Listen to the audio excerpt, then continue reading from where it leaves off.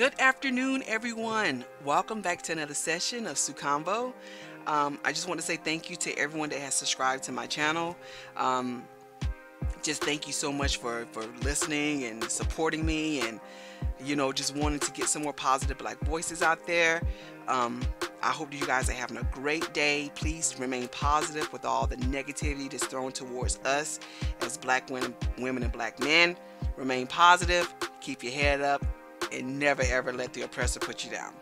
So um, I wanted to come in here today and talk about uh, Mr. Donald Glover, Childish Gambino. Um, I made a tweet yesterday on Twitter that's, starting to get a lot of buzz. Um, it looks like people don't like uh, when black people talk about pro-black issues. And I know you're probably like, girl, where, where have you been at? That's, that ain't nothing new. For the past four years, I've been popping out babies. So I'm now getting back into the fold of the whole social media thing. So uh, I do apologize if I'm new. So I went on Twitter. It looked like the other day, uh, Childish Gambino and This Is America is trending. If you've been under a rock, you know that Childish Gambino came out with a video, uh, you know, basically uh, talking about, you know, the issues in, in America. If you look at the video, the visuals, it is clearly talking about black America culture or black culture in general. Um, African culture. And um, I just think it's funny that, you know, throughout our history as black people, we've had so many people want to be for the community but then they're also sleeping white and you can't talk black and sleep white it's just it's just not able to happen you guys um, so basically what i'm going to do today is i wanted to um, just go on a rant in regards to this whole situation and why you know black people like myself and so many other black men and women out there are not down with this whole fox wake, woke movement from these bed bucks and these bed wenches we're just not down with the cause. You cannot seriously sit here and tell me that you want to be out in public on a podium talking and speaking black, but then, then but then turn around and go and hold hands and hug up with a damn Asian or a white woman. That's not possible, you guys. And please don't come in my comments and talk about why are you worried about what he doing and who he's sleeping with. Well, when you sit here and have a show called Atlanta that talks about the plight of black people, when you sit here and make an album that is basically wish-washy, holding on to the fence talking about black issues, then I have a right to say something about it because I'm a black woman with a black husband with black children. And then also it's like, dude, you came out in 2014 talking about black black women don't fit your mold. So I have a right to come in here and say this. And then furthermore, looking at the at the the history of black men who are outspoken about pro-black issues and them laying up with their oppressor what has that accomplished for us you know harry belafonte sidney poitier what has that accomplished for us so that's why I'm like, you guys gotta calm down with this whole, well, you why you worried about what he doing? Well, bitch, why the hell you worried about what I'm commenting on? Y'all, y'all no child left behind recipients. Y'all, um, I graduated with the diploma case, but no diploma. Y'all got to calm down. Because just because you're able to go to Walmart and buy the SIM card and buy the phone and get a 4G connection to get on Twitter and talk shit, doesn't mean you're talking the right shit. So anyways, like I said before, 2014, Childish Gambino came out with a video on an interview he did with the Breakfast Club talking about, you know, He's not down with the black woman. He's a he's a nerd. They're not feeling him. All this other boo ha boo ha boo ha bullshit. I'm not gonna uh, play the video because I know um, I think it's with the Breakfast Club. They're known for taking down copyrighted material, so I don't want to get my video taken down. So I'll leave the link in the description for you guys. Um, next, I want to come back and just show you guys. Um, I got a I got a certified swirler. I got a couple of certified swirlers, both men and women, on my Facebook page. And this one right here just kind of struck me struck me the wrong way because the excuse that he's giving to go lay with the white woman is, is absolutely ridiculous. So on the post, homie sits up here and say, this isn't 100% of the time for everyone, but for me, it was 96% of the time, my entire life, as the weird black dude. Y'all niggas stupid. Especially in high school and in college. Dang, this brought up a crap a ton of feels. End of the day, love is love. And maybe attracted wasn't the word, but being the geek was not getting you any dicks in hot springs in the late 90s.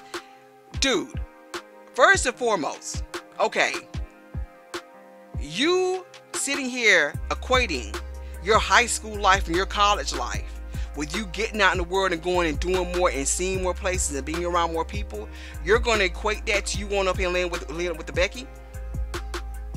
I am six foot two, 250 pounds.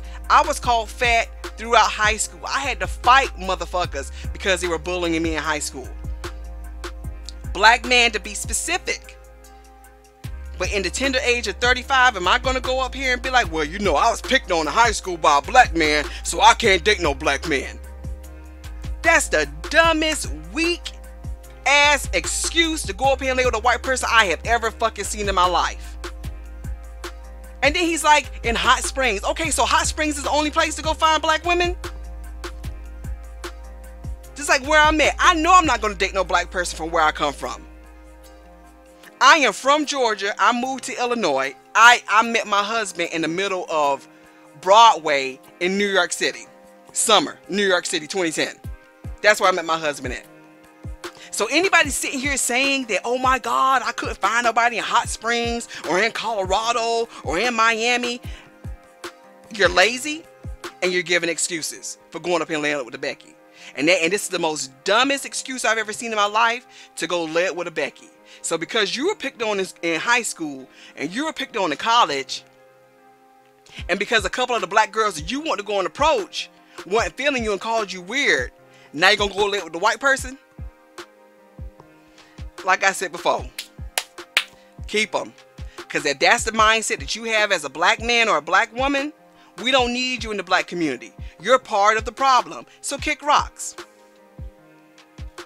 Crazy. The, the, the excuses they're making, and his comic section, section is filled with enablers enablers. Filled with it. Crazy. And then people are just sitting up there saying, well, you know, the, the woman Donald Glover is dating, she's an Asian. She's an Asian. Okay, and that's supposed to mean what? Asians can be coons too, motherfuckers. Asians can be coons too. And while we're sitting here talking about Asians, let's go over here and talk about how in Uganda, the Ugandan government is worried about Chinese men marrying their women. Since y'all want to be like, she Asian. She cool, she Asian. Well, let's talk about all these Asian men that done ran over here in, in, Uganda. Why are they in Uganda in the first place, you guys, huh? Why are Chinese people in Uganda in the first place? So y'all want to be on this? Well, she Asian. She Asian. Okay, well, you tell me about these Asian niggas right here.